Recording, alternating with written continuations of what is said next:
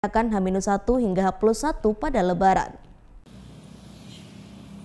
Untuk mengantisipasi kemacetan, Dirlantas Polda Sumatera Barat mulai memperlakukan one way atau jalur satu arah untuk jalan lintas Padang Bukit Tinggi. Untuk kendaraan dari Padang menuju Bukit Tinggi diarahkan ke Padang Panjang, sebaliknya dari Bukit Tinggi menuju Padang diarahkan ke Jalan Si Cincin Malala Pariaman. Dari pantauan di lapangan, arus lalu lintas untuk Padang Bukit Tinggi atau sebaliknya berjalan lancar dan aman, namun masih terlihat sejumlah kendaraan menerobos dan melawan arah arus lintas.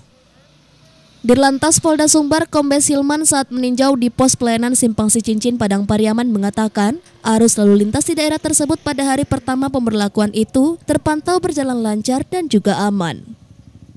Namun petugasnya masih menemukan kendaraan yang melanggar melawan arus dan untuk kendaraan yang melanggar disuruh balik kanan atau diberlakukan penindakan dengan penilangan.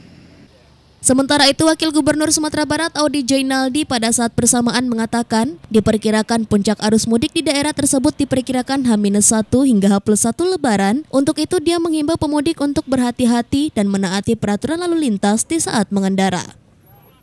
Untuk one way Padang Bukit Tinggi diberlakukan Hamin 3 hingga H plus 3 dari 19 hingga 25 April nanti pada jam 12 hingga jam 16 sore. Masih landai tapi uh, kita akan laksanakan pengamanan dengan tetap seperti ini di hari kedua dan hari ketiga. Untuk uh, pengendara yang melanggar gimana Pak? Untuk pengendara yang kita putar atau tindak tegas. Uh, minggu lalu uh, pemberlakuan jalur satu arah ini berlangsung dengan sangat baik. Ya masih ada beberapa pelanggaran lalu lintas ringan ya, mungkin karena informasi belum tersebar.